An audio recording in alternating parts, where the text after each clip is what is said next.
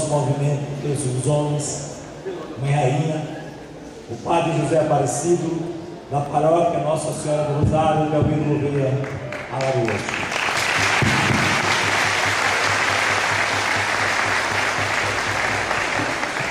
Boa tarde, minha gente.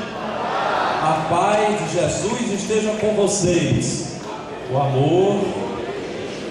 E agora a saudação de todo católico decente. É aquela saudação que a gente diz nas missas e deveríamos dizer em todos os lugares. Não, né? É um perigo. A gente rezar isso na missa, não é? E não mostrar que Ele está no meio de nós. A gente vai para a missa e quando volta para casa, volta do mesmo jeito ou pior. Não é? Isso é um perigo. Não é verdade? A gente dizer Ele está no meio de nós.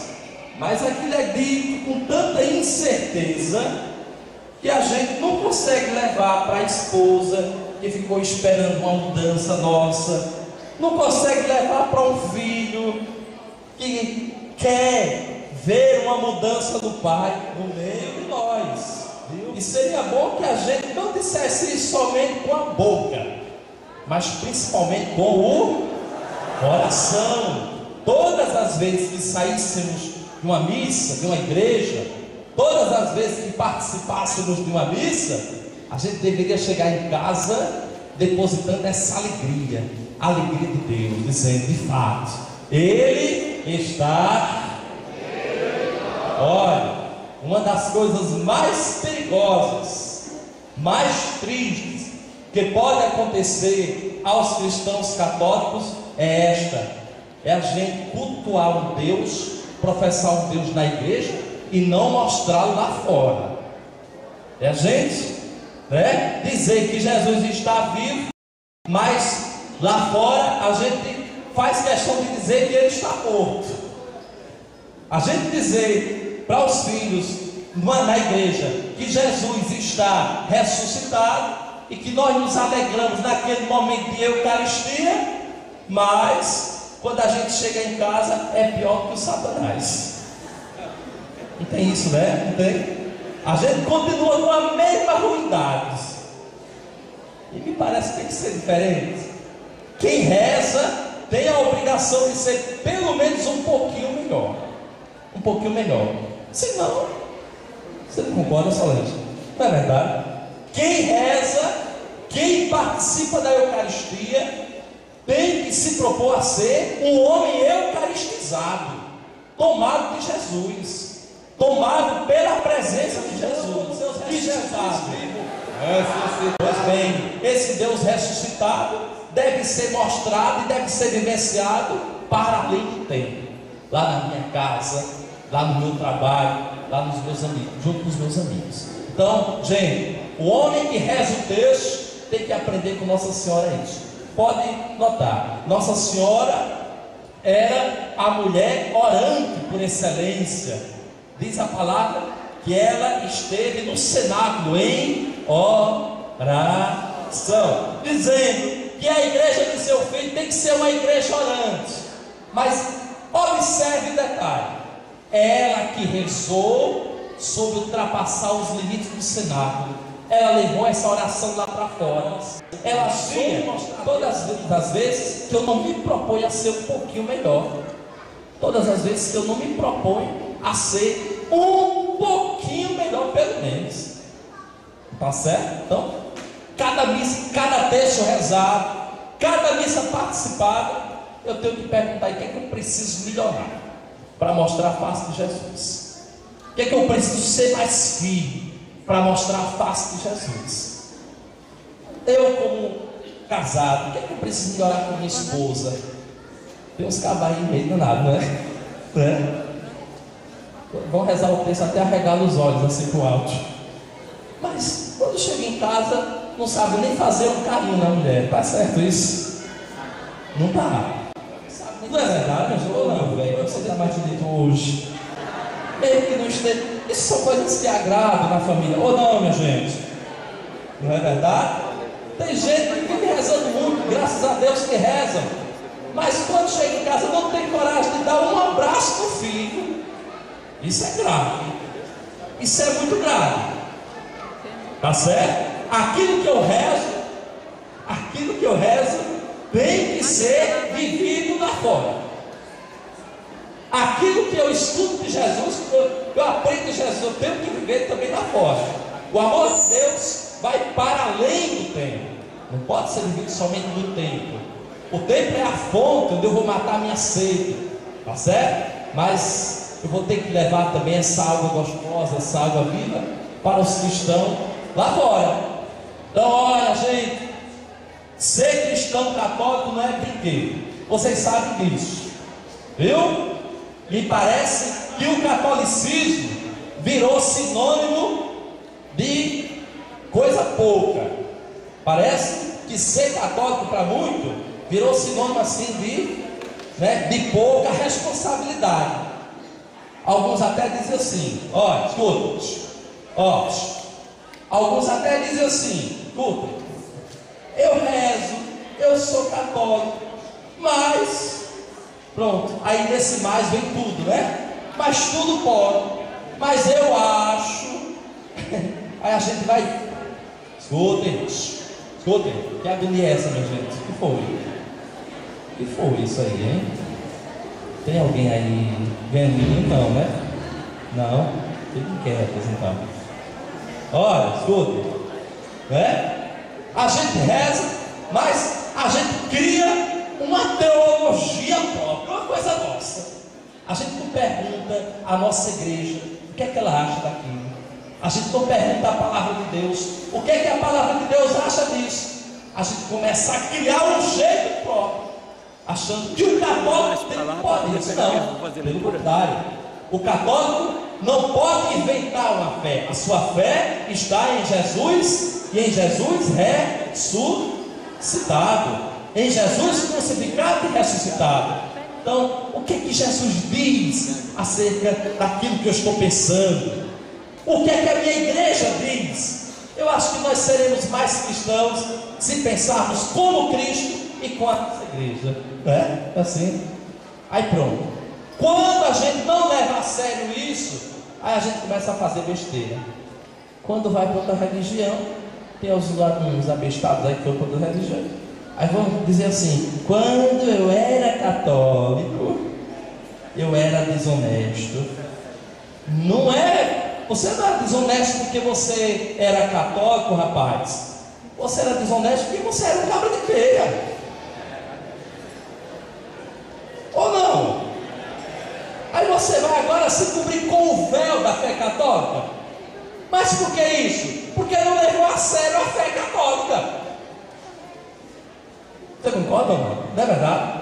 Quando eu era católico, eu botava a porra na minha mulher. Não, você botava a porra na sua mulher, você não acaba sem vergonha, não era porque você era católico. Não é assim mesmo? Não porque você era católico. Quando eu era católica, eu só vivia fofocando. Né? Você era uma fofoqueira, não é porque você era católica, é que você tinha língua grande. Bom, aí a gente fica inventando esse jeito errado de viver a religião, de viver a fé, porque nós não levamos a sério a fé. Então, está errado dizer que católico pode tudo. Católico pode fazer aquilo que está na Sagrada Escritura, tem que levar a sério a Sagrada Escritura e tem que levar a sério a igreja. Nós só seremos cristãos católicos mais felizes a partir do momento em que a gente caminha com Jesus e com a igreja. Aí sim, a gente vai caminhar seguro. A partir do momento que a gente escuta as vozes dos nossos pastores. Está aqui nosso bispo. Vocês já viram, né? Eu vou cumprimentar agora. Só seremos, só viveremos bem a nossa fé a partir do momento, só seremos cristãos seguros e alegres a partir do momento que a gente pensar como Jesus como diz o Padre Zezinho naquela música, né? agir como Jesus, sonhar como Jesus, sentir como Jesus e ouvindo mais a nossa igreja, ouvindo o que os nossos pastores têm a dizer. Com eles, Sem eles, viramos, nos tornaremos ceia. Pensaremos por nós mesmos. E olha, gente, o jeito de pensar nem sempre condiz com aquilo que Jesus quer e sonhou para nós. Então, homens e mulheres que rezam o texto, somos conclamados a fazer que a presença de Jesus seja real. Primeiro em mim, depois lá na minha casa. Levem a alegria de Deus para as suas casas. Levem essa alegria para os seus amigos. Convide mais gente. Convide. Não se importe com os não que vão ouvir, não. O não faz parte da vida. Não é verdade? Lá na frente, você pode colher essa semente. Convide, convide. Nada não, convide mais. Tá certo? Encaminhe famílias para Deus. Vamos nos entusiasmar com aquilo que somos. Somos cristãos, somos católicos, pertencemos a uma igreja que nos mostra Jesus, que tem a palavra, que tem a Eucaristia, temos nossos pastores que nos guiam, então nós não precisamos de outra, não precisamos de outra coisa, porque nós já temos o essencial. Agora, cabe a nós nos alegrarmos com isso, nos entusiasmarmos com isso. Escute bem, um dia alguém disse uma coisa que eu achei certa. Pior do que um cristão triste na igreja é um triste cristão, né? Pior do que um cristão triste é um triste cristão, aquela criatura que não se empolga com o trabalho, aquela criatura que não se entusiasma com a caminhada, aquela criatura que só tem nó pelas costas, né? Qualquer coisa está desistindo. Ave Maria. Gente desse tipo não vale para muita coisa. Não presta. Não presta. Gente que dá mais problemas do que acertos. Causa mais tristeza do que alegria. Hoje Jesus diz uma palavra bela para Pedro. Qual é? O evangelho de hoje? O que é que Jesus diz a Pedro? Hein? Afasta de mim, Satanás. Porque você só tem nó pelas costas. Você quer impedir o projeto de Deus. Se entusiasme, Pedro. Tenha coragem. Seja um homem decidido. Seja um homem forte. Afinal de contas, você crê, Deus, você crê num Deus ressuscitado ou num Deus que é bagaceiro? Jesus chama a atenção dos cristãos para isso. Hoje Pedro mostra que é o, que, o o cristão deve ser. Tá certo? O cristão deve ser corajoso, deve caminhar nas estradas de Jesus, deve escutar o mestre, não deve ser causa de empecilho para ninguém, não pode ser pedra de tropeço para ninguém. Tem que ser gente de coragem, entusiasmado, gente que vai adiante, gente que prossegue, porque sabe que pode contar com a graça de Deus. Então é triste saber que tem cristãos na igreja católica assim, que são mais pedras de tropeço do que pedras de edificação. Jesus repreende, nos quer corajosos, pessoas vibrantes e dinâmicas. Pronto, o bispo já está vestido, eu vou parar por aqui. Né? Gente, Deus abençoe a todos. Deus guarda a todos vocês. No dia 18 de setembro vai haver em Dalmiro Gouveia o terceiro, o segundo encontrão dos Homeiros do Padre Cícero. Eu queria que vocês fossem. Quem puder ir vá, tá certo? Quem puder ir vá, leve a comida, que a gente não vai dar comida. É mais um pouquinho, não é? A farofinha, o arrozinho, a rapadura. É para a gente dividir com quem não levar. Tá certo? Leva o chapéu. vai ser bonito, vai? Tá. Viu? Tá bom? Então tá aí formulado o convite para vocês, tá bom? Deus abençoe a todos. Deus guarde a todos. E até breve, se Deus quiser. Ave Maria. O Senhor é convosco. Bendita sois vós entre as mulheres. Bendito é o fruto do vosso ventre, Jesus.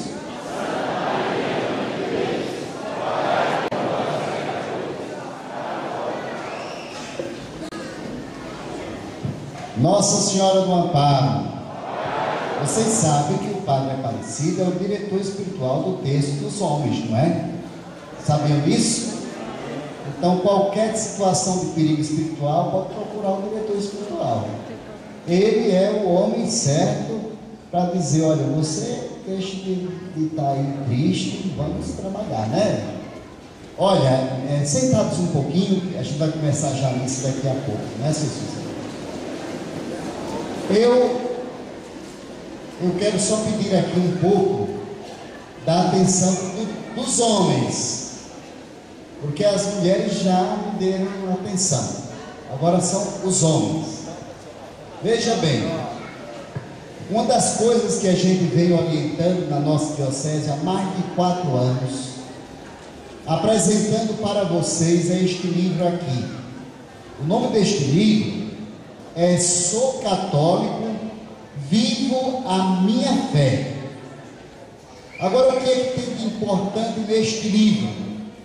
Primeiro, este livro traz algumas orações antigas que nossos pais rezaram e hoje nós não rezamos mais. Hoje nós não rezamos mais. Raramente nós encontramos pessoas com orações é, rezando quando termina a missa, a ação de graças, orações boas da guarda.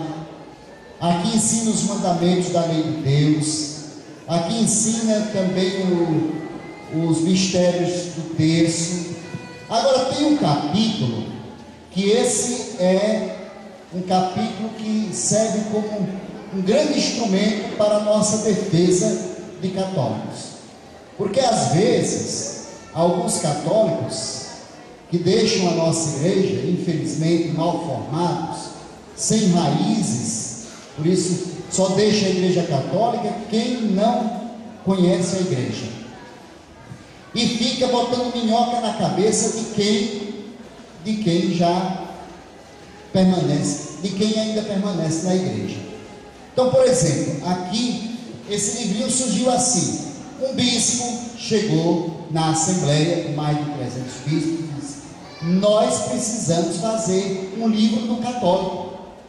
Mas o livro do católico é a Bíblia.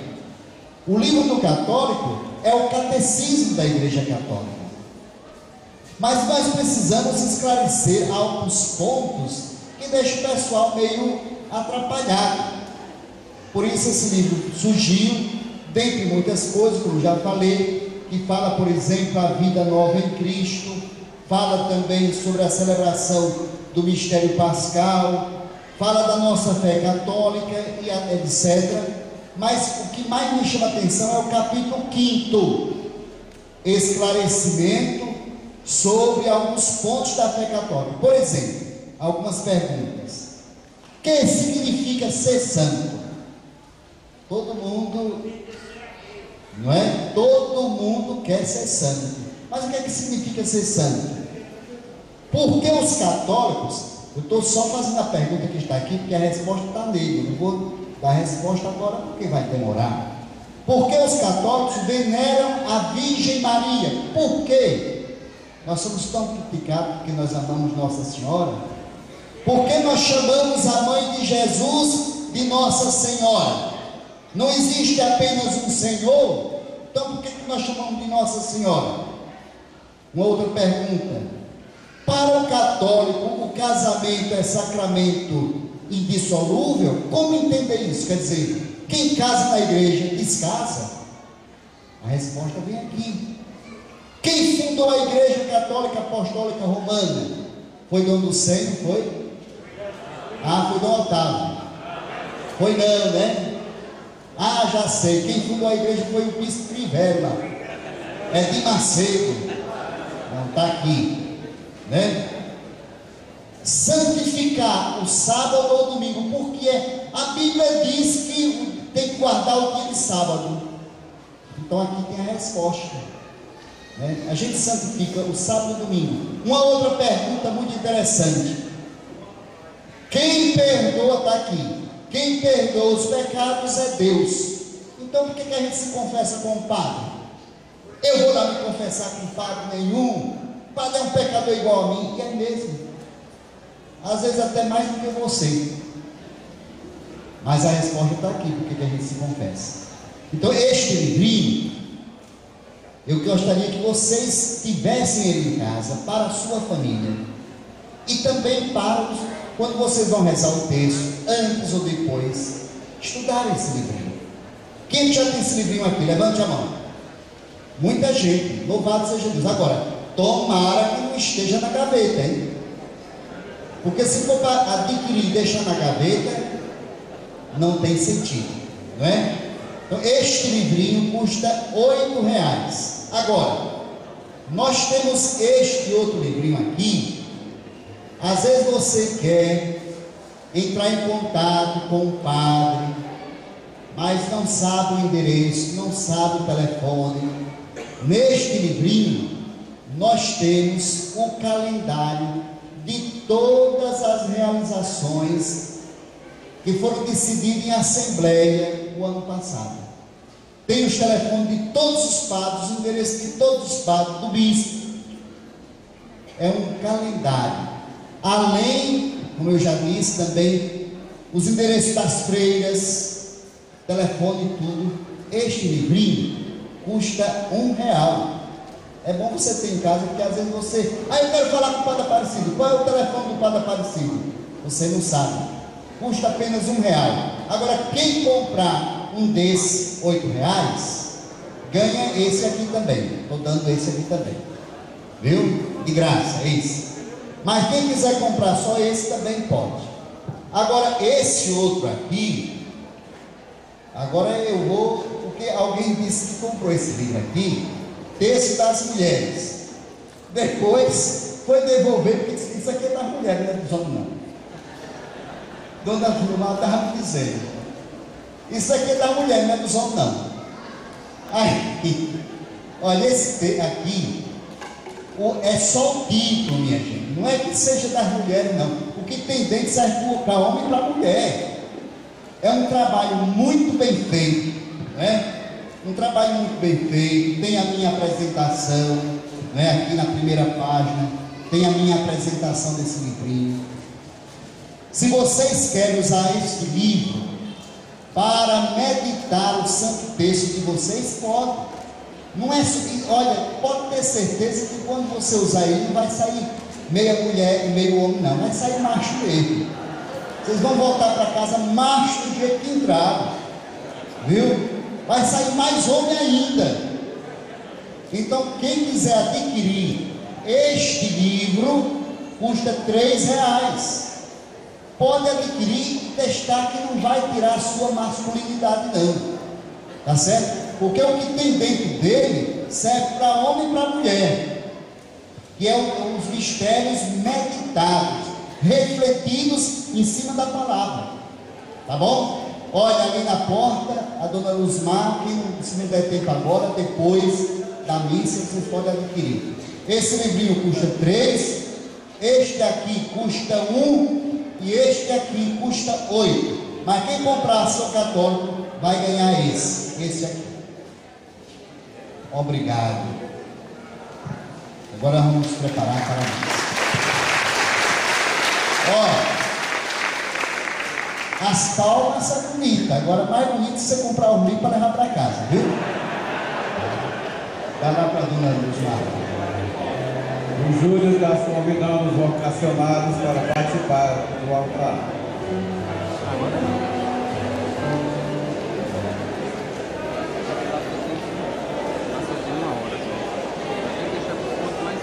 Uma boa tarde a todos. Sejamos todos bem-vindos à missa do 22 domingo comum. Não é fácil deixar bens e privilégios, mas é fundamental abandonar maneiras velhas de pensar, de pensar e agir para seguir o Evangelho. Convocados a esse segmento, celebramos a Páscoa de Jesus a qual se manifesta em todos os que se perdem, todos os que perdem a vida por amor ao reino.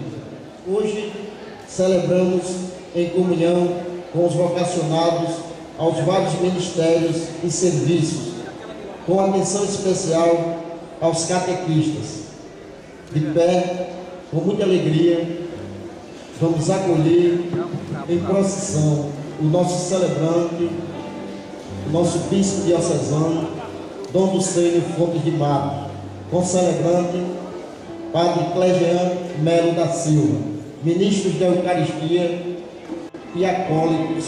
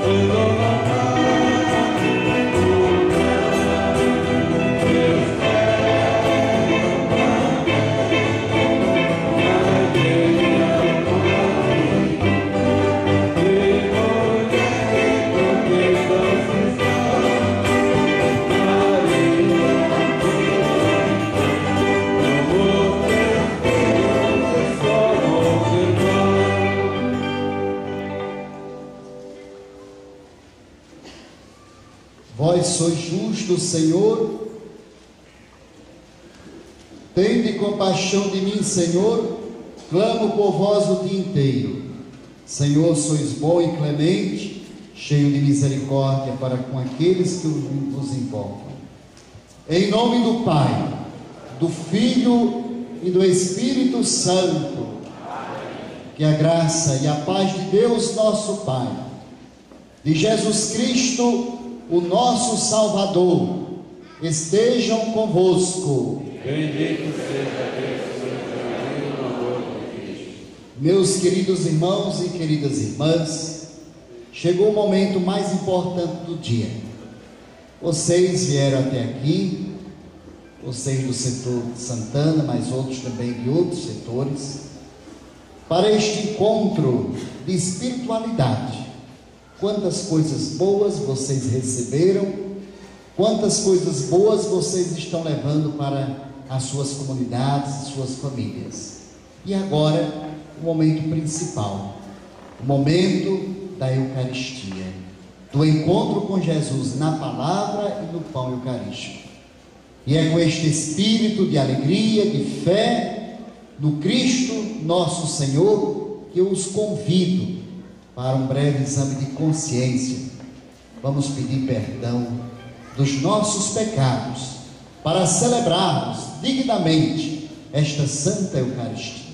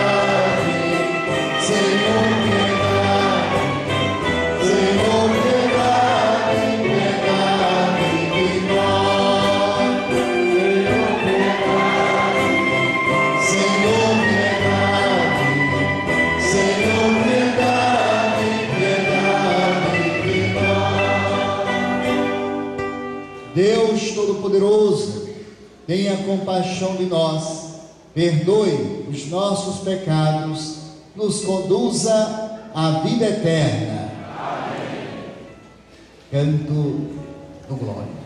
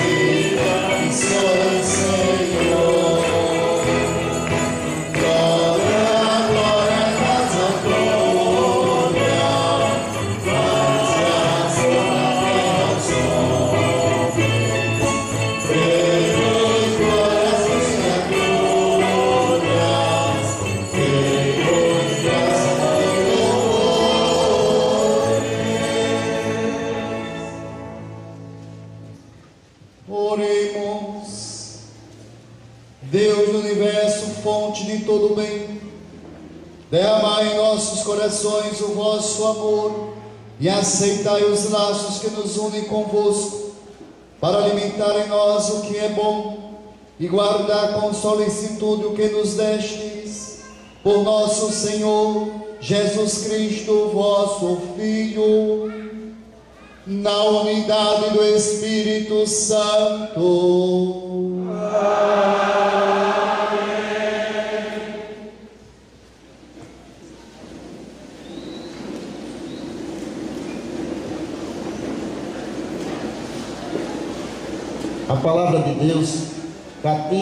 E compromete as pessoas. Quem busca assumir o projeto de Jesus vai comprovar pessoalmente que os sistemas do mundo não combinam com o Evangelho de Jesus Cristo. Ouçamos.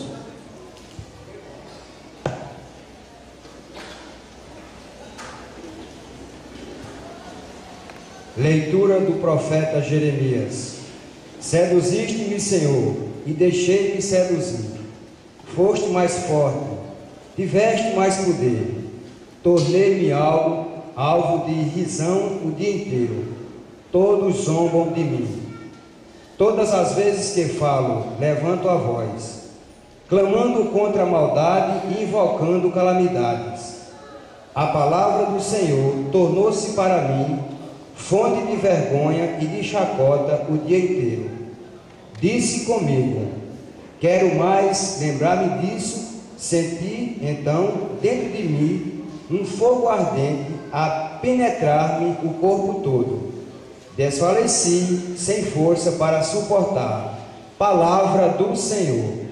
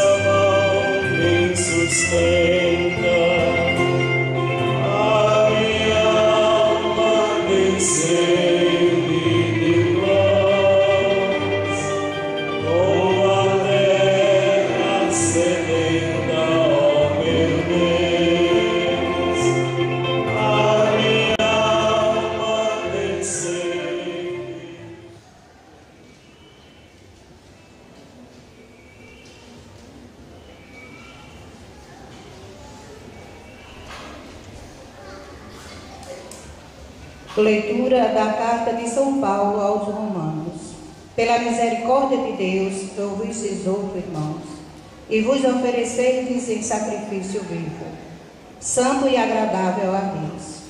Este é o vosso culto espiritual.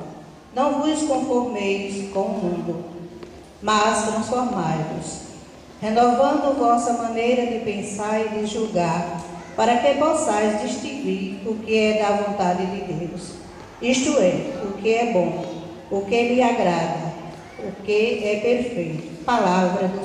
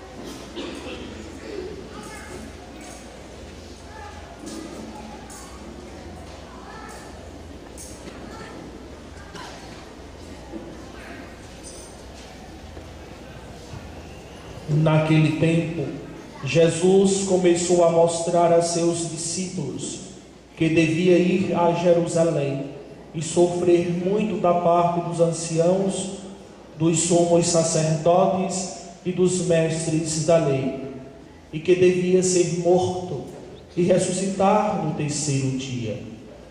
Então Pedro tomou Jesus à parte e começou a repreendê-lo, dizendo: Deus não permita tal coisa, Senhor, que isso nunca te aconteça. Jesus, porém, voltou-se para Pedro e disse: Vai para longe, Satanás. Tu és para mim uma pedra de tropeço, porque não pensas as coisas de Deus, mas sim as coisas dos homens. Então Jesus disse aos discípulos: Se alguém quer me seguir, renuncie a si mesmo, tome a sua cruz e me siga. Pois quem quiser salvar a sua vida vai perdê-la, e quem perder a sua vida por causa de mim vai encontrá-la. De fato, que adianta o homem ganhar o mundo inteiro, mas perder a sua vida? O que poderá alguém dar em troca de sua vida? Porque o filho do homem virá na glória do seu Pai com os seus anjos e então retribuirá a cada um de acordo com a sua conduta. Palavra da salvação. Com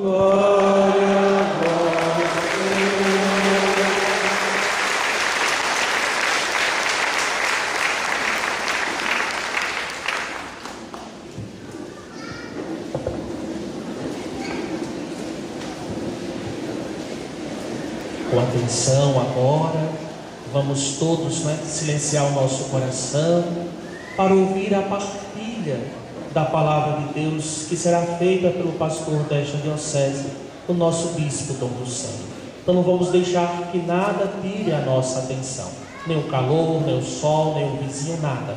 Vamos colocar-nos totalmente à disposição da partilha da palavra de Deus.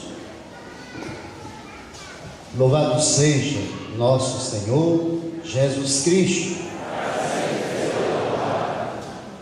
Meu querido irmão no sacerdócio, Padre Clegiano, queridos homens e mulheres do texto aqui presente, que alegria estarmos aqui hoje. Vejo sempre esses encontros como um momento de reavivamento, de renovação. Isso daqui está melhor. Deixa ser de vez. Que esse aqui está mais equalizado para a minha voz. Como eu estava dizendo, é um momento de reavivamento, um momento de renovação espiritual. O senhor Cícero, que é o coordenador dos homens do texto,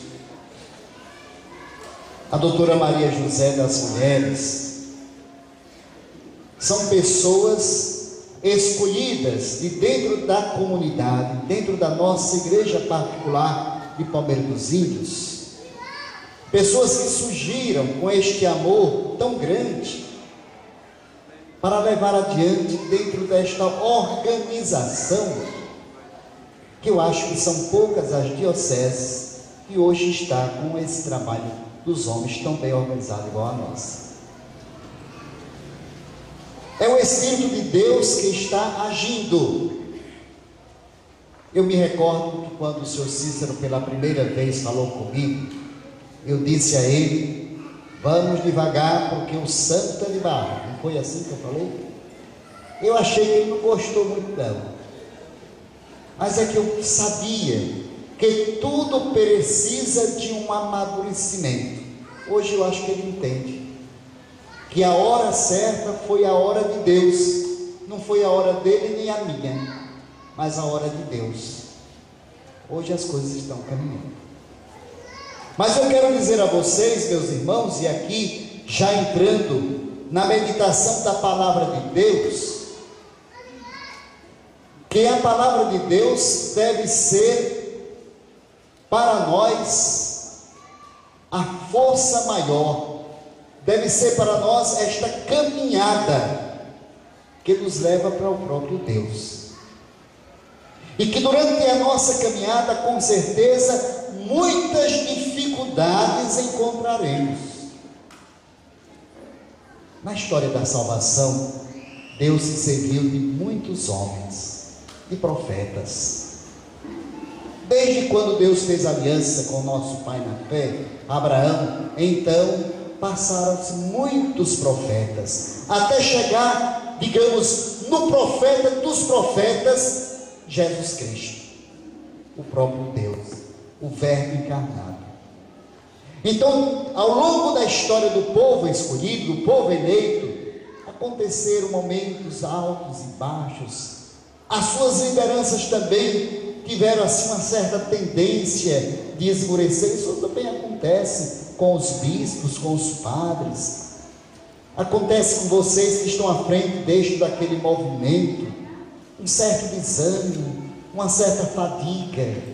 Por isso é necessário a nossa renovação espiritual baseada no verdadeiro alimento, a palavra de Deus, a Eucaristia. Como também, por que não dizer, na devoção particular, a reza do texto, porque é o que vocês mais estão fazendo no seu apostolado.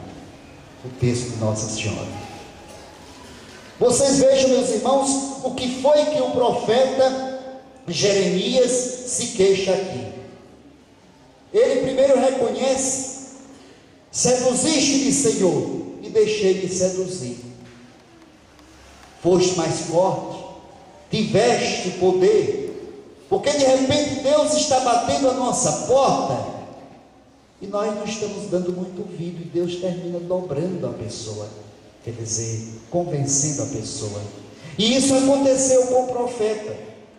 Por isso ele também vai dizer que a partir do momento que ele se deixou seduzir por Deus, ele começou a enfrentar as dificuldades. Pelo fato da sua opção ele escolher, escolheu Deus por, por conta da palavra de Deus. Então, tornei-me alvo de risão o dia inteiro, todos zombam de mim. Eu fico assim perguntando, e já trazendo um pouco essa primeira leitura para a nossa própria vida, e para vocês, na comunidade de vocês, quando vocês, aqui falo mais para os homens agora, era aquele homem cru, que não tinha nenhuma aproximação da igreja, quem pouco estava importando com a palavra de Deus, pouco estava importando com Nossa Senhora, todo mundo batia as suas costas, encontrava muitos amigos, não é verdade? Amigos para beber, para farrear, amigos para muita coisa. Mas quando vocês começaram, se eu estiver errado, pode dizer. Quando vocês começaram a se doar mais para Jesus, quando vocês começaram a dizer, não, eu sou um filho de Deus, eu sou batizado, e agora, a convite do meu compadre Antônio, do meu compadre José, estou fazendo parte desse apostolado, o texto dos homens. aqueles seus amigos que não, que não acompanharam os seus passos, aí começa a dizer: Fulano agora está importante, ele agora virou santo. É o Padre Aparecido. Oi, Padre Aparecido, como é que vai? Não é? Quem sabe até já tem, alguém chamaram você de Dom do Céu também, não é? Então sempre encontra alguém para ser o advogado do diabo.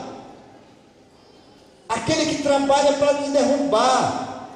É o que Jeremias vai dizer. Todas as vezes que falo, levanto a voz, clamo contra a maldade, invocando as calamidades. Então ele vai dizer que a palavra do Senhor tornou-se para mim fonte de vergonha, de chacota o dia inteiro. Quantas chacotas vocês já não receberam lá na fábrica em Delmiro Gouveia, trabalhando lá? Né? Olha, aquele passa para. É Delmiro, é? Não é não, né? Lá na, na fábrica. Quantas chacotas você não já levou na praça? Esse agora virou beata não sai da igreja, não é?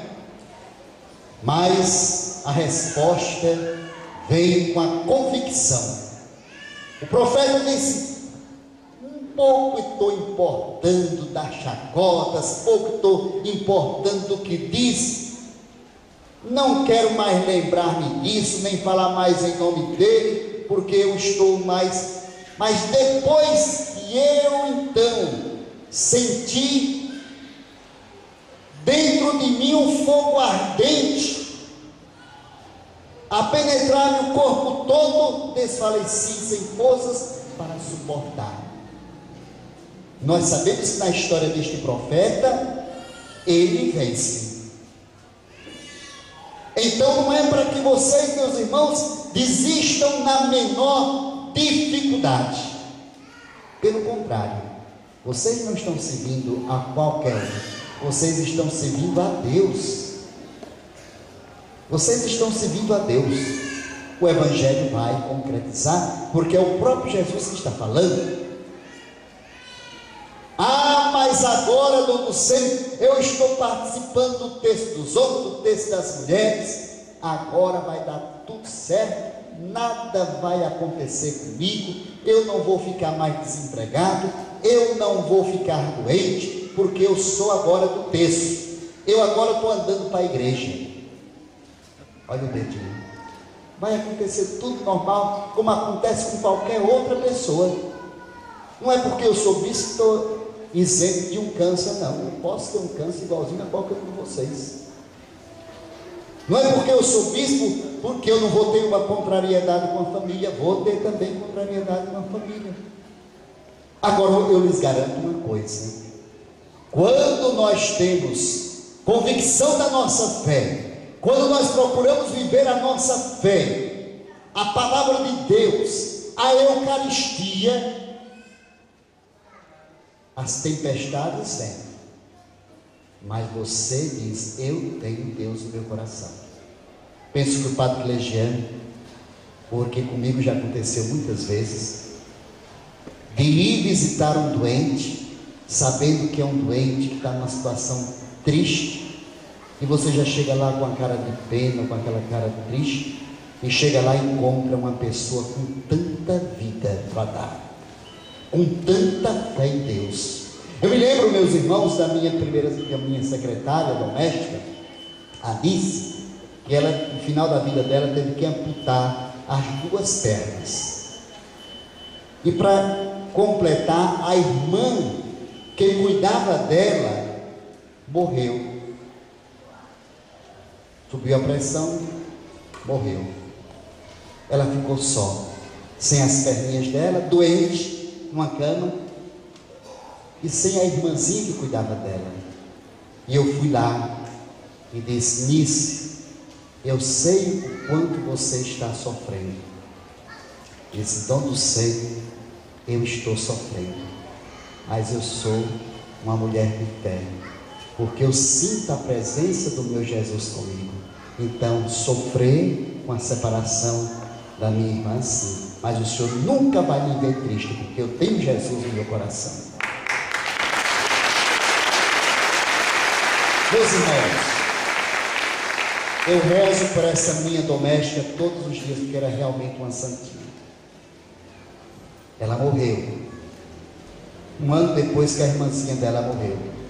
Mas que exemplo ela me deu durante a vida que cuidou de mim, 12 anos. Trabalhando para mim na minha casa. Só saiu da minha casa porque fui cuidar da mãezinha dela que morreu de câncer também.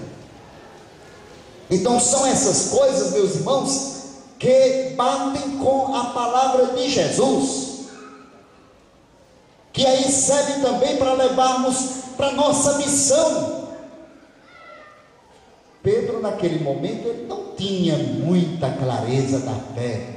Afinal de contas, ele era um discípulo que estava andando com Jesus, mas nem tudo estava revelado para eles. Aliás, os discípulos de Jesus que se tornaram apóstolos passaram a ser homens corajosos depois de Pentecostes, depois que receberam o Espírito Santo. Mas enquanto eles estavam andando com Jesus, muitas vezes eles fizeram besteira, porque eles eram iguaizinho a nós. Quando Jesus fala que ele, o filho do homem, deveria morrer, sofrer, morrer e ressuscitar, Pedro, aqui passa a minha interpretação, disse: Não, senhor, que eu não vou deixar. Qual foi a reação de Jesus? Porque ele percebeu justamente no coração de Simão Pedro que não existia ali uma certeza, uma fé enraizada, mas o que existia no coração dele era meramente um homem medroso e que ainda não tinha percebido que estava com o Filho de Deus. Embora ele mesmo mais adiante vai dizer: O que é que diz aí, embora quem sou eu? Pedro diz: Tu és o Messias, o Filho de Deus. Veja, Jesus diz: Afasta de mim, Satanás. Mas diz também para esse mesmo Pedro os altos e baixos. Faz um elogio rasgado, porque não foi homem que te revelaste isso, mas Deus que tinha colocado no coração dele. Ele reconheceu Jesus, o Messias, o Filho de Deus. E Jesus oferece para os seus discípulos o que? Oferece a cruz. Não imagine, irmãos, aqui o madeiro. Mas a vida turbulenta, conforme diz o profeta Jeremias, depois que se dedicou a levar a mensagem do Senhor, a vida turbulenta de vocês, meus irmãos, pai de família, as dificuldades que vocês encontram nas famílias de vocês, com seus filhos, com o trabalho, o desemprego, a doença, as divergências familiares, os desafios na missão de vocês.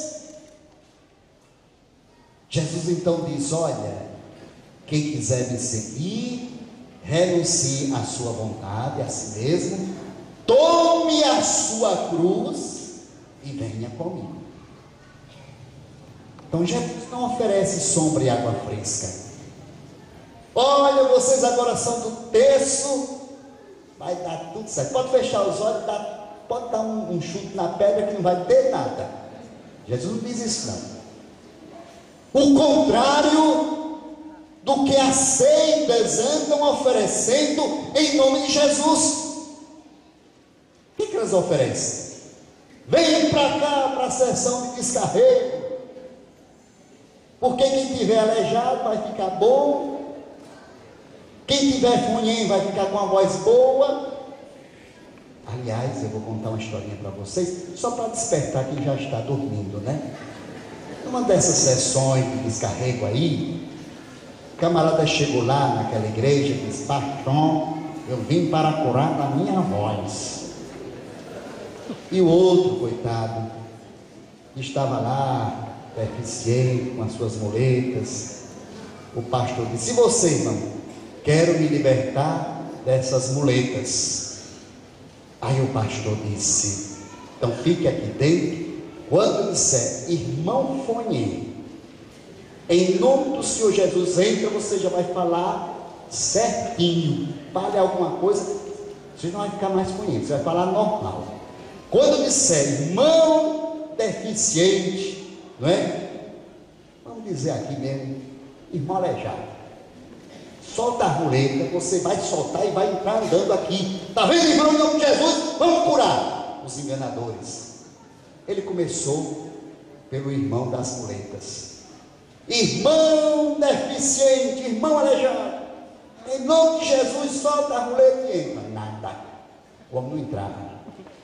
Eu estou dizendo, não entrava. Aí ele se aborreceu e disse: Irmão, sonhei, fale alguma coisa. O aleijado caiu, homem.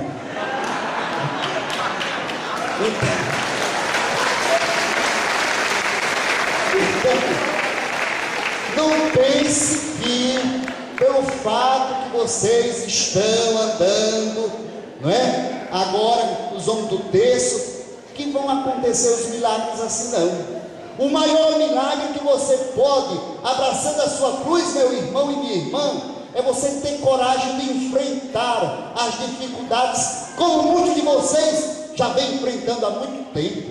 E eu sei que aqui existem heróis e heroínas aqui dentro. Mães que têm filhos que bebem, mães que têm filhos que se drogam, pai que tem filhos que se drogam, mas não esquecem do amor de Deus para com aquele filho enfrentar suas dificuldades. A mãe de Santo Agostinho levou 40 anos, Santa Mônica, pedindo pela conversão do seu filho. Diminuíram aqui. Isso foi 30. Eu não sei se foi 30 ou 40, mas que há muitos anos. Não é verdade? São muitos anos. Tem gente que não aguenta passar um mês, já desiste. Ah, porque isso assim, assim, mulher leva lá para o espiritismo, porque lá resolve tudo. Não é? Ou então compra um quilo de, de, de sal grosso, joga nos cantos, vai pegar lá. Olha tanta coisa do mal cristão. Jesus oferece a cruz, renuncie a si mesmo, tome a sua cruz.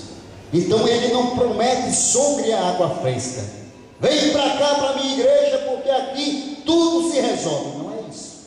Aliás, meus irmãos, é o que está acontecendo no Brasil. Hoje os sociólogos chamam o trânsito religioso, hoje você está na católica, amanhã já está no espiritismo, depois já está na, no candomblé, depois já está na igreja pentecostal do sei de depois já está na outra igreja, assim é, é como macaco, pulando de galho em galho.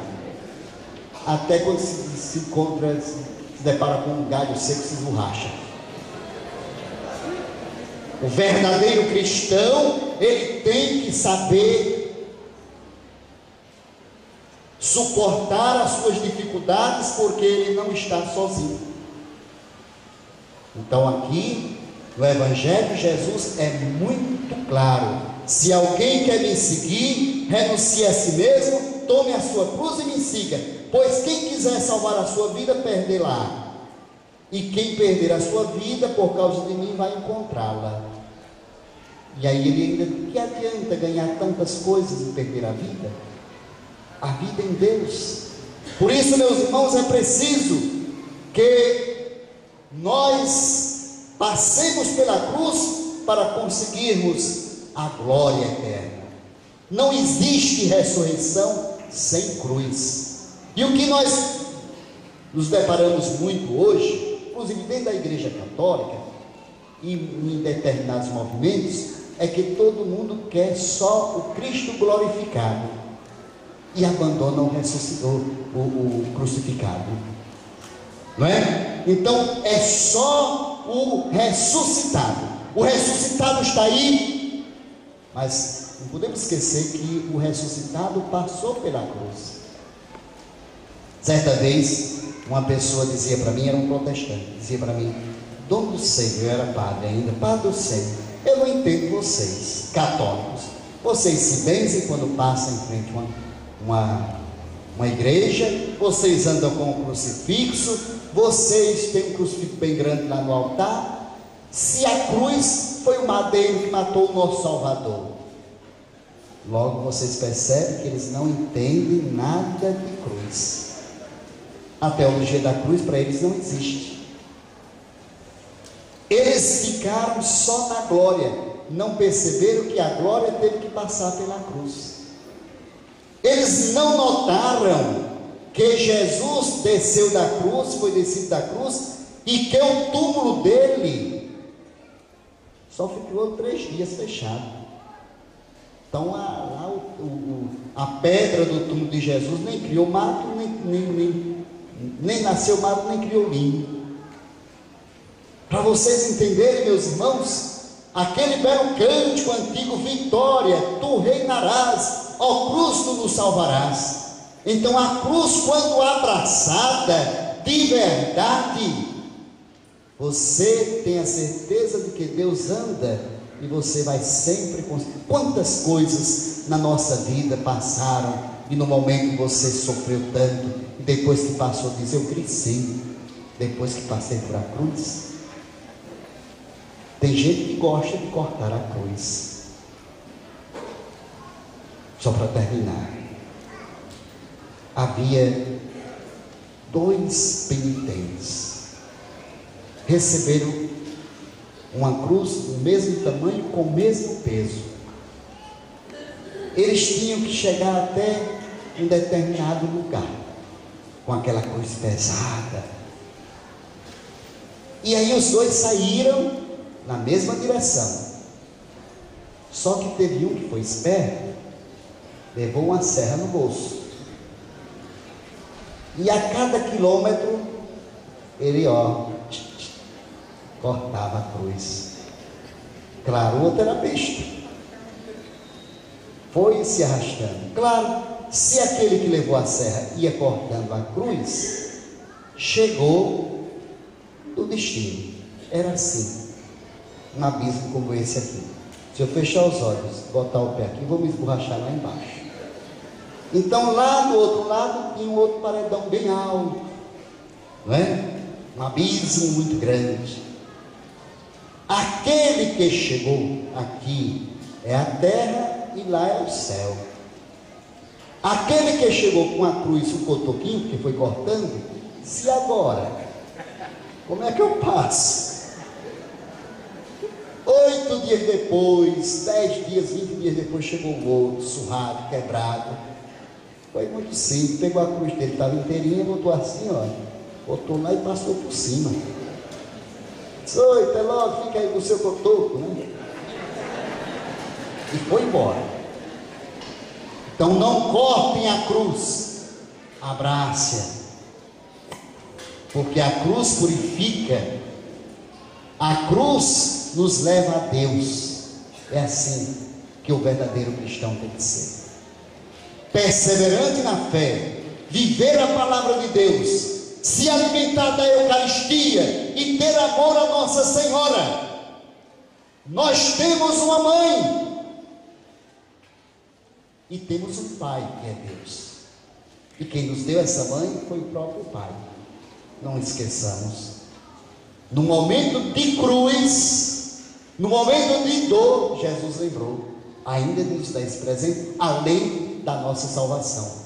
Olhando para João, vendo ali o discípulo amado ao pé da cruz, filho, eis aí tua mãe, mãe, eis aí teu filho. E daquele dia em diante, João levou Maria para a sua casa, e eu tive a alegria de conhecer esta casa. Lá, segundo a tradição, onde há muita peregrinação, inclusive dos muçulmanos, porque tem uma veneração a Nossa Senhora, em Éfeso, porque João era de lá. Até hoje está nas ruínas da Basílica de João, que fora derrubada pelas cruzadas, na época das cruzadas, e aquela casinha que, segundo a tradição, Maria terminou os seus dias aqui na terra. Eu tive a alegria, o prazer de entrar naquela casa, me ajoelhar e rezar pela minha diocese, pelos meus sacerdotes, pela minha própria. Foi uma coisa que me marcou muito. Então, daquele dia em diante, diz a Sagrada Escritura, o Evangelho, que João levou Maria para a sua casa. Aquela casa que eu visitei, segundo a tradição, era a casa de João, onde Maria ficou. Que Nossa Senhora seja ela a grande intercessora, que Nossa Senhora seja a grande animadora das comunidades de vocês. E que vocês, meus queridos homens e mulheres aqui presentes, não desistam, apesar das cruzes. Louvado seja nosso Senhor Jesus Cristo.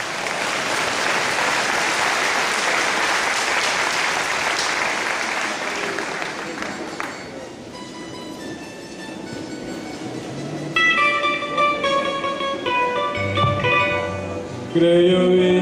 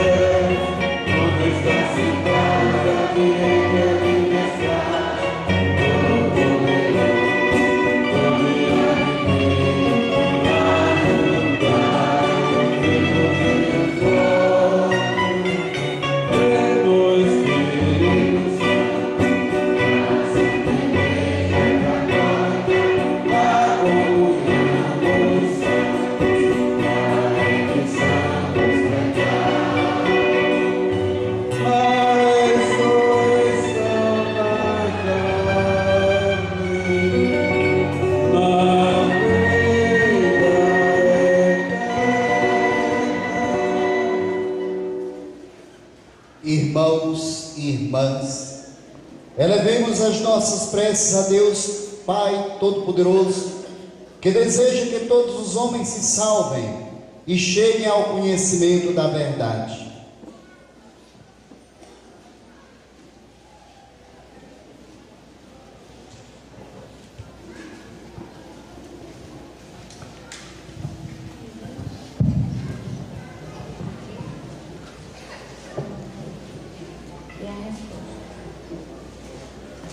Pela Santa Igreja de Deus, para que Ele a proteja e sustente, roguemos ao Senhor.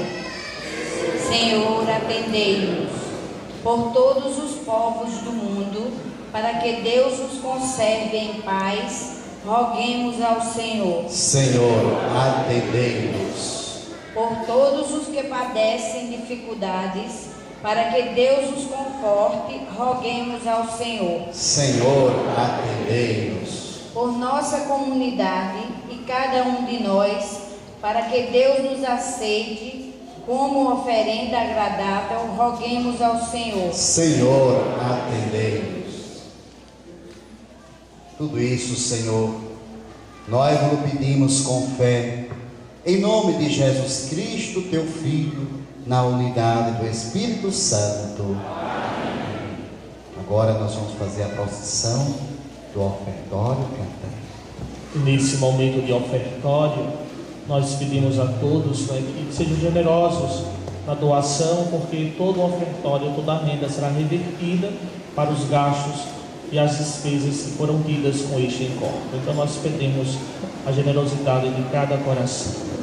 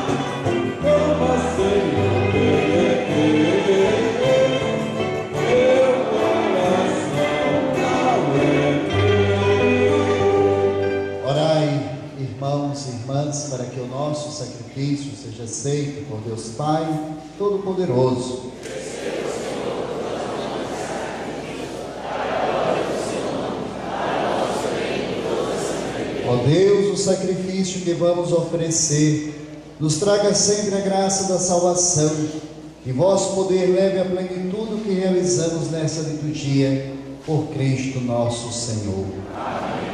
O Senhor esteja convosco.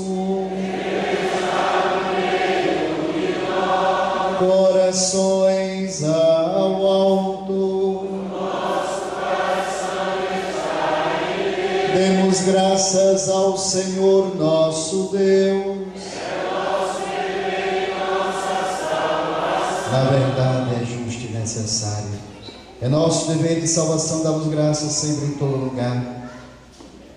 Pai misericordioso, Deus fiel, vós nos deste o vosso Filho Jesus Cristo, nosso Senhor e Redentor. Ele sempre se mostrou cheio de misericórdia pelos pequenos e pobres, pelos doentes e pecadores, colocando-se ao lado dos perseguidos e marginalizados, com a vida e a palavra, anunciou ao mundo que sois Pai e cuidais de todos como filhos e filhas. Por essa razão, com todos os anjos e santos, nós os louvamos e bendizemos e proclamamos o hino de vossa glória, cantando a uma só voz.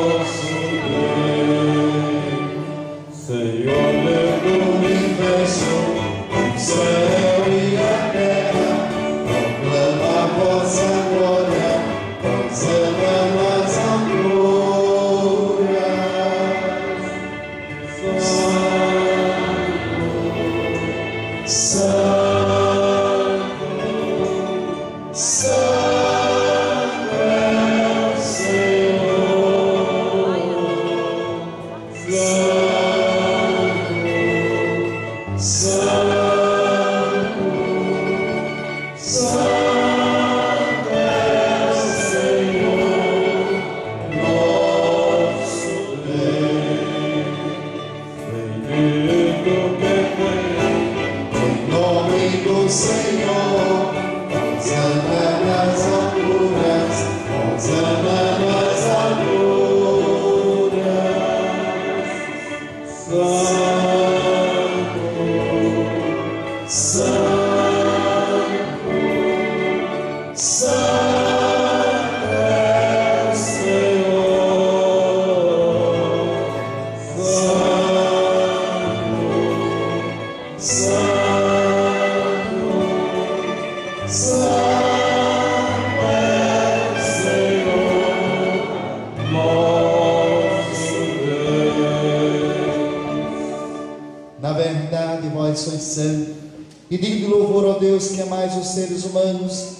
sempre o assisti no caminho da vida.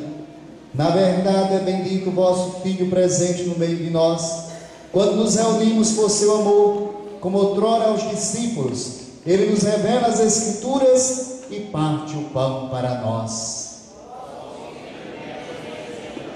Nós vos suplicamos, Pai de bondade, que envieis o vosso Espírito Santo para santificar estes dons do pão e do vinho, a fim de que se tornem para nós o corpo e o sangue de nosso Senhor Jesus Cristo. Estando na véspera de sua paixão, durante a última ceia, ele tomou o pão, deu graças e o partiu e deu a seus discípulos, dizendo: Tomai todos e comei, isto é o meu corpo que será entregue por vós.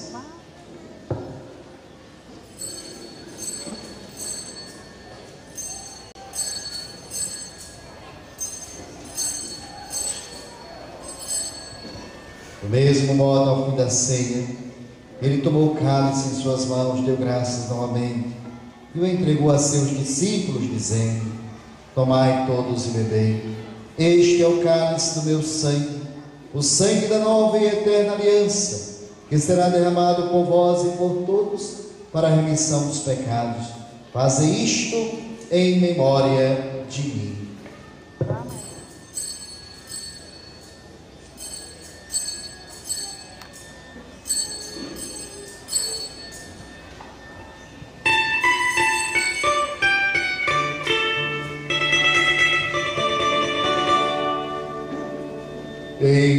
Mistério da fé.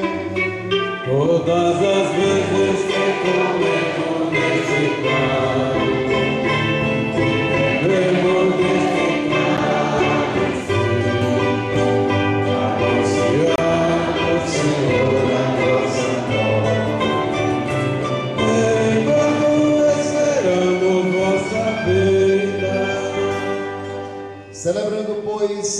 pois, ó Pai Santo, a memória de Cristo, vosso Filho, nosso Salvador, que pela paixão morte de cruz fizeste entrar na glória da ressurreição, colocaste a vossa direita, anunciamos a obra do vosso amor, até que ele venha, e vos oferecemos o pão da vida e o cálice da bênção. Olhai com bondade para a oferta da vossa igreja, nela vos apresentamos o sacrifício pascal de Cristo que vos foi entregue, e concedei que, pela força do Espírito do vosso amor, sejamos contados agora e por toda a eternidade entre os membros do vosso Filho, cujo corpo e sangue comungamos. Senhor Deus, conduzi a vossa igreja à perfeição na fé e no amor, em comunhão com, nossa, com o nosso Papa Bento, com o nosso bispo do Sênior, com todos os bispos, presbíteros e diáconos, e todo o povo que conquistastes. Dai-nos olhos para ver as necessidades e os sofrimentos dos nossos irmãos e irmãs. Inspirai-nos palavras e ações para confortar os desa- desanimados e oprimidos. Fazei que, a exemplo de Cristo e seguindo o seu mandamento, nos empenhemos lealmente no serviço a eles. Vossa igreja seja testemunha viva da verdade e da liberdade, da justiça e da paz, para que toda a humanidade se abra à esperança de um mundo novo.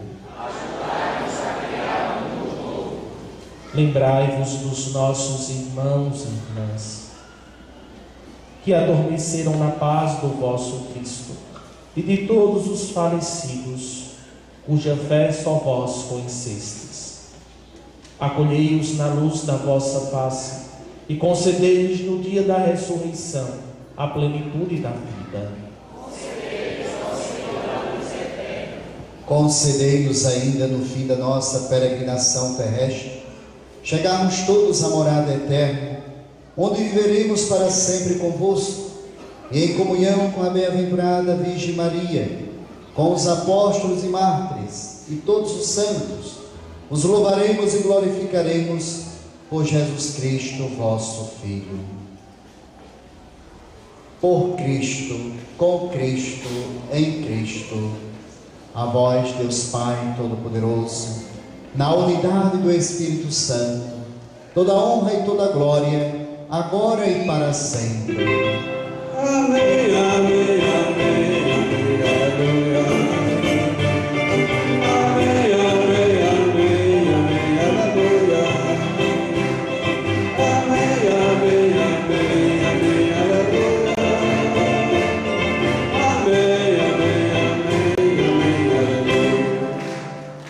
Irmãos e irmãs, como filhos e filhas, rezemos juntos a oração que o Senhor nos ensinou. Pai nosso que estás nos céus, santificado seja o vosso nome. Venha a nós o vosso reino. Seja feita a vossa vontade, assim na terra como no céu. O pão nosso de cada dia dai hoje. Perdoai as nossas Assim como nós perdoamos a quem nos tem ofendido, não deixeis cair em tentação, mas livrai-nos do mal. Livrai-nos de todos os males, ó Pai, dai-nos hoje a vossa paz. Ajudados pela vossa misericórdia, sejamos sempre livres do pecado, protegidos de todos os perigos, enquanto, vivendo a esperança, aguardamos a vinda do Cristo Salvador. Senhor Jesus Cristo, dissestes aos vossos apóstolos: Eu vos deixo a paz, eu vos dou a minha paz. Não olhei os nossos pecados, mas a fé que anima a vossa igreja. Dai-lhe, segundo o vosso desejo, a paz e a unidade. Vós que sois Deus com o Pai e o Espírito Santo. A paz do Senhor esteja sempre convosco. Amor de Cristo nos uniu. Saudai-vos em Cristo Jesus.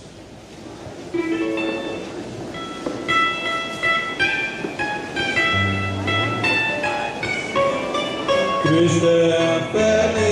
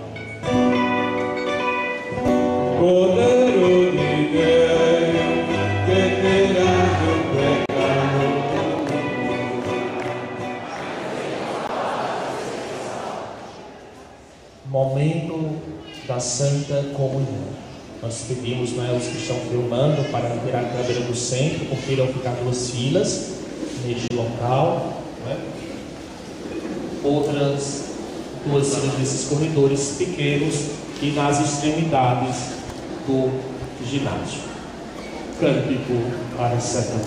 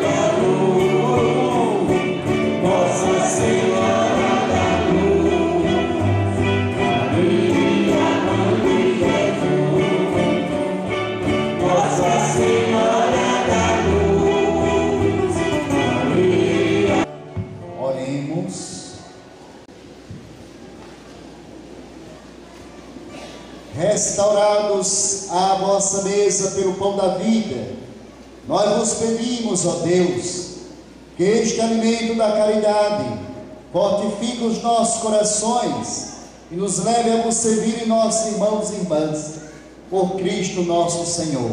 Amém. Divino Salvador Jesus Cristo, concedei-nos, sacerdotes santos, inflamados no fogo do vosso amor, totalmente doados à edificação da vossa igreja. Vós, Maria, Mãe dos sacerdotes, Vós que sois a onipotência suplicante, socorrei-nos a todos, nos trabalhos, dificuldades em que se encontrar. Virgem Mãe, Rainha dos Apóstolos de Jesus, aumentai nas famílias o respeito e o amor ao sacerdócio, suscitai novas vocações sacerdotais e religiosas. Guiai segundo o amor do vosso coração os nossos seminaristas, para que sejam mais tarde dignos ministros do altar, santos, dedicados, pastores do povo cristão. Então agora nós vamos ouvir uma palavra de agradecimento do dono da casa, né? Padre Clegião, padre aqui da paróquia. Seu Cícero também tem alguma palavra a dizer, agora é essa. Viu? A nossa gratidão a Deus e à Virgem Maria, primeiramente pela presença do nosso pastor diocesano, aquele que preside na caridade esta diocese de Palmeira dos Índios, o nosso bispo Dom Lucênio, e esta alegria de tê-lo conosco se estende a todos os demais movimentos de oração da reza do texto do nosso setor pastoral Santana do Ipanema, que compõe a cidade de Ouro Branco, Poço das Trincheiras, Paróquia de São Sebastião, Santo Antônio do Pado, Ouro Branco, São Cristóvão, Santana do Ipanema, Senhora Santana, Santana do Ipanema, Nossa Senhora da Saúde, São Sebastião, e Atos, Nossa Senhora do Carmo, Olivença, Santo Antônio de Uruguaiana das Flores, São José, da Tapera, Santo Antônio de Santo Rio Palmeira e Sagrado Coração de Jesus de Pão de Açúcar. Nós temos as cidades ainda também de Carneiros e Maravilha, a Sagrada Família do Cunhê, né? Branco diretamente para Poço. E a paróquia da Sagrada Família de Maravilha. Eu creio que há representação aqui, né? de todas estas cidades, a nossa alegria, a nossa gratidão em tê-los conosco. E outros setores, eu vejo aqui gente lá do Alto Sertão, da Almeiro Gouveia, vi aqui na frente São Gilberto, que estava até então, de Pariconha, Palmeira dos Índios, quais cidades outras? Batalha. Delmiro já falei. Monteirópolis, é o setor Batalha. Palestina, então quase que um encontro diocesano, não, é? não só do setor de pastoral santana, mas apareceram, vieram para se unir a esta família dos homens do texto, tantos outros de outras cidades. Então, nossa alegria, há mais de mês que nós vemos, vimos colocando as intenções nas santas missas por este encontro setorial, e foi bom porque nós rezamos pedimos a Deus, a Nossa Senhora, para que fosse um dia assim em paz. Um encontro é, dos amigos de Cristo, dos irmãos seguidores de nosso Senhor Jesus Cristo, que louvam, veneram a Beatíssima Virgem Maria. E nestes últimos dias nós tivemos a oportunidade de celebrar duas festas, uma solenidade e uma festa em honra a Nossa Senhora. A Virgem da Assunção, aquela que tem os braços apontados para o alto, nos indicando, nos mostrando que a nossa pátria, que o nosso lugar, que a nossa morada não é a terra, não é este solo que nós pisamos, mas é o céu. A Virgem da Assunção é lá diante de Deus aquilo que todos nós esperamos ser, santos. Maria é modelo da igreja é a mãe desta igreja. Nós celebramos também a festa de, com o de Nossa Senhora, Rainha do Céu. Ela é a nossa Rainha do Céu. E ela está lá no céu como intercessora, como advogada de todos nós, para nos defender das aflições, das mentiras, das calúnias, né, do orgulho, da vaidade, de tudo aquilo que nos afasta de Deus. Então é a Virgem Maria que está lá em corpo e alma junto de Deus. Dentre todas as criaturas, ela foi a predileta, a escolhida para ser elevada, para junto do Pai de corpo e alma.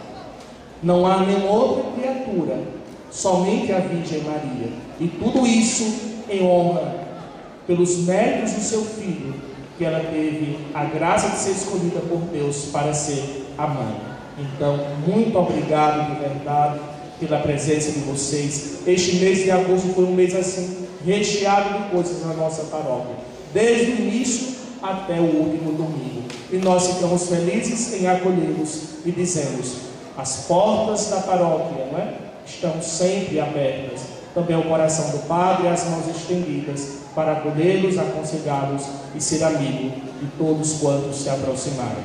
Muito obrigado pelo carinho e pela presença de vocês todos nesta tarde, neste dia tão maravilhoso, com Nossa Senhora também ao nosso lado. Muito obrigado a todos.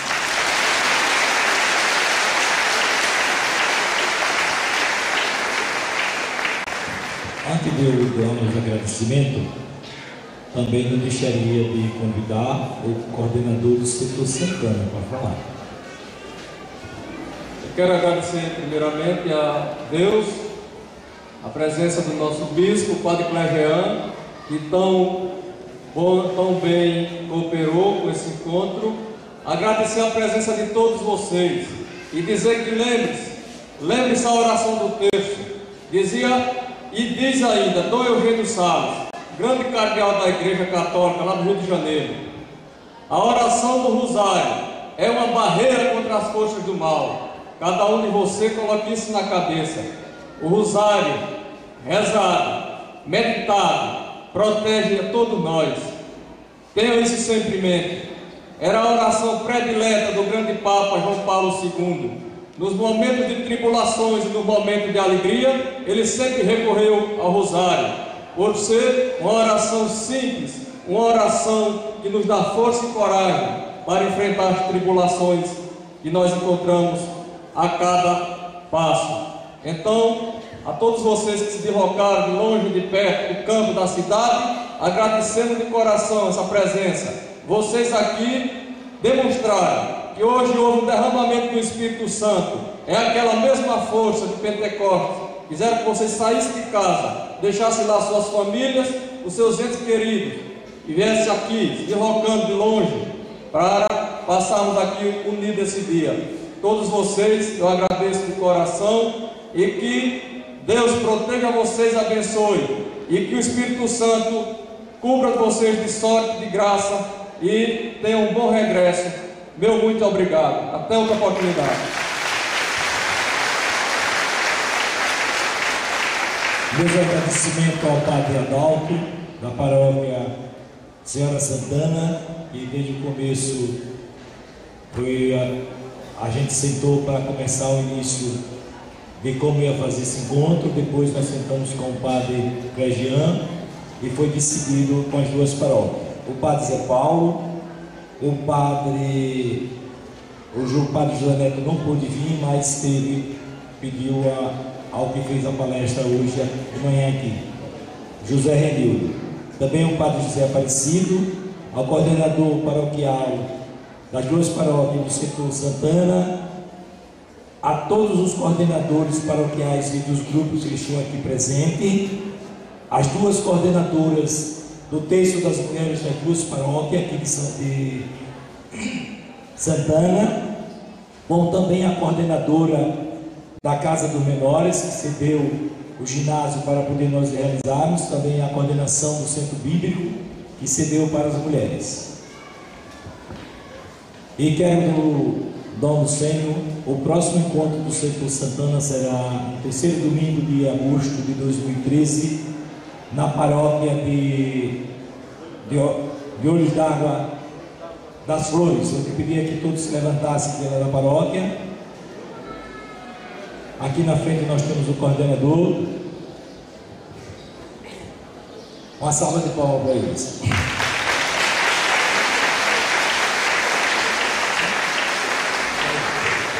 E também quero agradecer ao Dono Sênior pelo apoio que está dando a gente até no presente momento. A gente, quando começou com ele para a celebração da missa, ele perguntou qual era o horário, ficou certo nesse horário, como de sempre. Muito obrigado.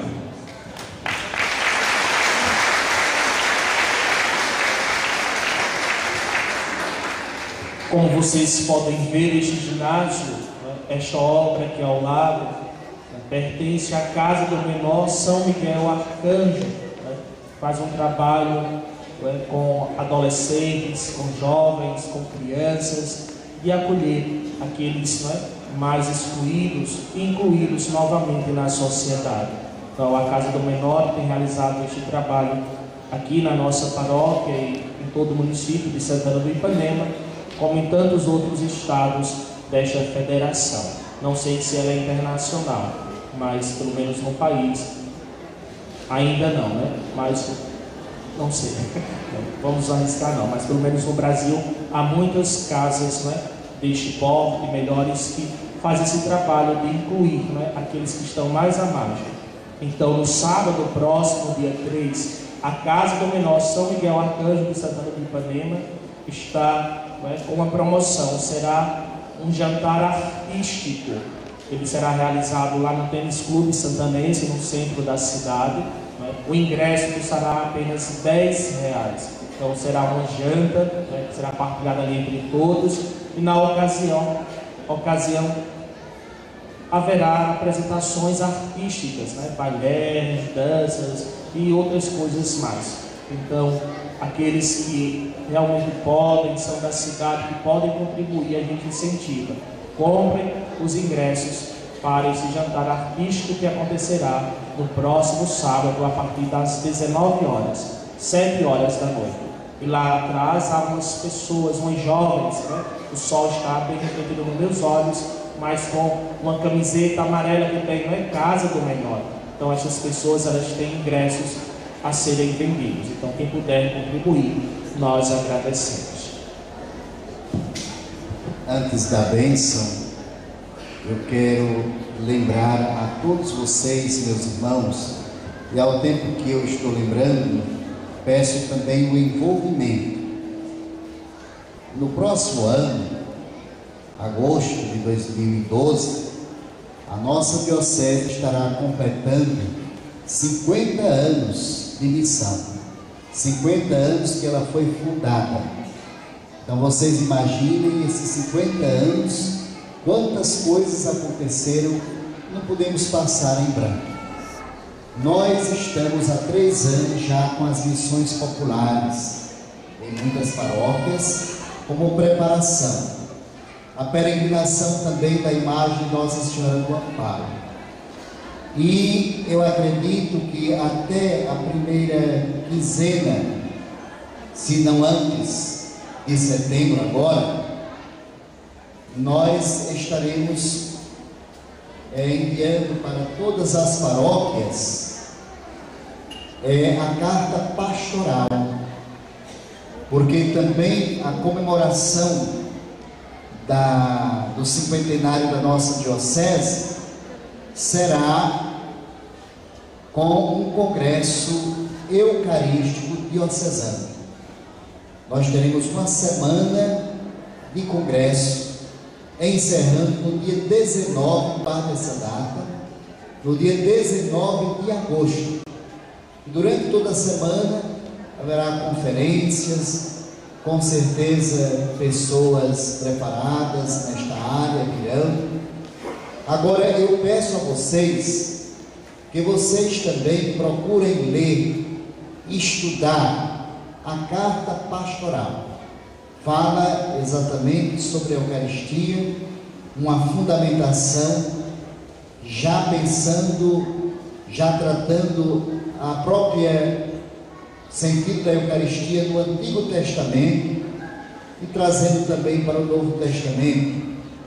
Então, esta carta vai para todas as paróquias, inclusive até, eu quero dizer ao coordenador dos homens do texto, também das mulheres do texto, que seria bom que vocês pensassem em estudos também sobre a Eucaristia. Por quê? porque nós sabemos que muitos de vocês ainda, infelizmente, não têm a prática da frequência da missa dominical, a Eucaristia. Vocês deram um passo, mas ainda estão deixando Nossa Senhora triste, porque vocês sabem ir até a comunidade, a igreja, para rezar o texto, mas não aprenderam ainda para fazer algo maior do que o próprio texto, que é frequentar, participar para o seu próprio alimento espiritual da Eucaristia. Então seria muito bom que vocês, e aqui eu jogo a peteca para a coordenação, adquirissem também este livrinho, que vem a carta do bispo, e procurassem estudar como preparação para o jubileu. E que vocês não não façam nenhuma programação para agosto, pelo menos aquela semana que antecede o dia 19. Nós teremos, com a participação de toda a Diocese, o nosso Congresso Diocesano. O encerramento, com certeza, será no campo de futebol ou em frente à Catedral, mas eu não quero lá representações, quero também grupos de estudo na semana do Congresso e no encerramento eu quero que todos, sem exceção, todos os homens do texto, todos os movimentos, as forças vivas da Diocese estejam para celebrar é, o encerramento do nosso Congresso. Para também preparação deste, deste cinquentenário, nós temos né, em todas as paróquias uns bilhetes em benefício da reforma do prédio da Diocese de 12 onde acontece todas as formações, assembleias, é, retiros de leigos e até também alguma coisa do campo social, que é o Pio 12. Pio 12 é um prédio de quase 100 anos e está passando agora por uma reforma, primeiro porque necessitamos do prédio, e segundo também, até com o objetivo primeiro de receber as pessoas que vêm de fora.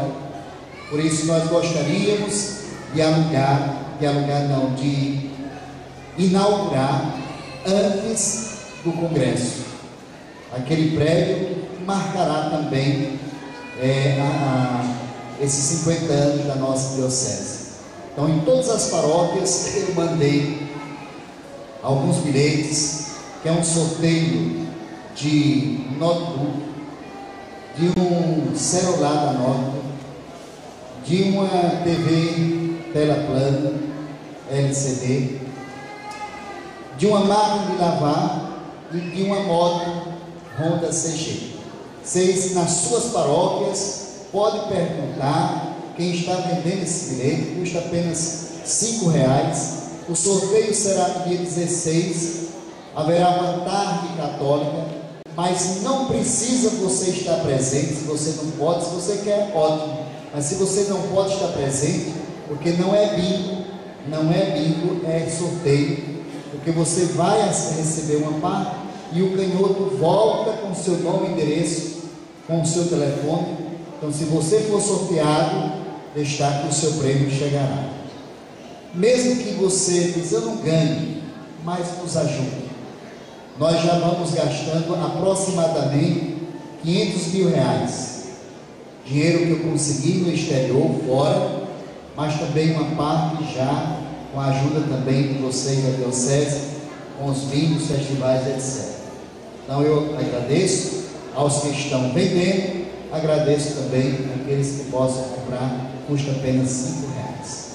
A dona Luz Mata está me dizendo que os livrinhos vermelhos Sou Católico já acabaram. Mas os livrinhos do calendário da Diocese. Tem mais não também? Só tem o das mulheres? Né? Tá vendo? Vocês são preconceituosos. Vocês estão pensando em ficar meio homem, meio mulher? Vão não. Ali dentro é só o título do livro. Dentro tem o texto meditado, muito bonito, tá bom? Vamos ficar de pé para a bênção. Antes da bênção, a gente agradece também né, aos músicos que né, incansavelmente se doaram para ensaiar esta missa que Dom, Dom do Senhor dizia, né? O cavaquinho só falta falar, dizia há pouco, mas é um conjunto, né? Com todos os músicos, a nossa alegria né, por vocês existirem e se dedicarem tanto ao canto litúrgico. Também agradecemos a todos aqueles que doaram seus transportes, né? transportes para este momento, este evento que realizamos neste nossa gratidão. Eu desejo que todos voltem na paz para casa, né? e esta bênção vai acompanhar vocês, e ela também será estendida aos seus familiares, aqueles que não estão aqui, ficaram em casa. O Senhor esteja convosco. Bendito seja o nome do Senhor, agora e para sempre. A nossa proteção está no nome do Senhor. Que o céu e a terra. E a bênção do Deus Todo-Poderoso, Pai, Espírito Santo, ida em paz, com Deus no coração, Nossa Senhora, que o Senhor sempre nos acompanhe. Amém.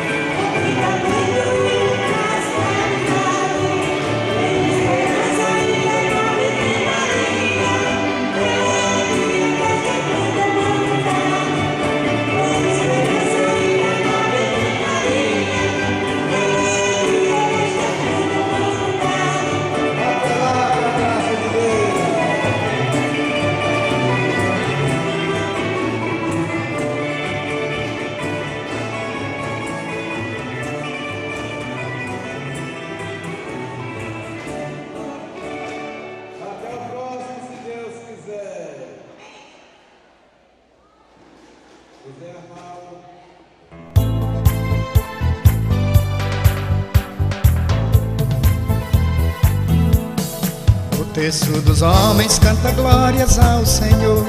Salve Mãe Rainha, Santa Mãe do Salvador. Evangelizando dia e noite com alegria, tudo com Jesus. nada sem Maria, tudo com Jesus, nada sem Maria. O terço dos homens canta glórias ao Senhor. Salve Mãe Rainha, Santa Mãe do Salvador. Evangelizando dia e noite com alegria, tudo com Jesus, nada sem Maria, tudo com Jesus, nada sem Maria. Mãe Rainha no lar, Mãe Rainha ao redor, Mãe Rainha no altar, Mãe Rainha no céu, Mãe Rainha no lar, Mãe Rainha ao redor, Mãe Rainha no altar, Mãe Rainha no céu. Jesus, Maria e José, nossa família vossa é. Jesus, Maria e José, nossa família vossa é.